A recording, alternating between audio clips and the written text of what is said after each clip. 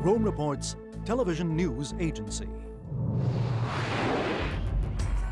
The weekly TV news program, The World Seen from the Vatican, produced by Rome Reports, is now available to view on the internet by subscribing to the Rome Reports Club in order to follow the news and main events surrounding the Pope. The program has been broadcast on the network EWTN and now on many others in North and South America, as well as in Europe, Asia, and the Pacific. It's available to the entire world via the web. At the click of a button, the weekly program can be seen to hear expert analysis on Catholic news and what Vatican officials are saying. Follow the travels and meetings of the Pope and news on the Catholic Church through the world seen from the Vatican by watching it on your own computer.